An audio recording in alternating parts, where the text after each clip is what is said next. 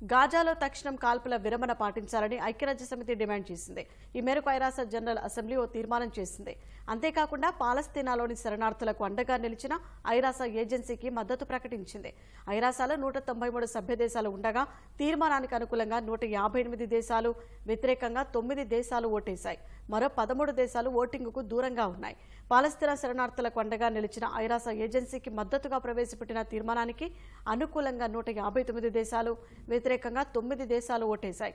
మరో పదకొండు దేశాలు ఓటింగ్ను బహిష్కరించాయి.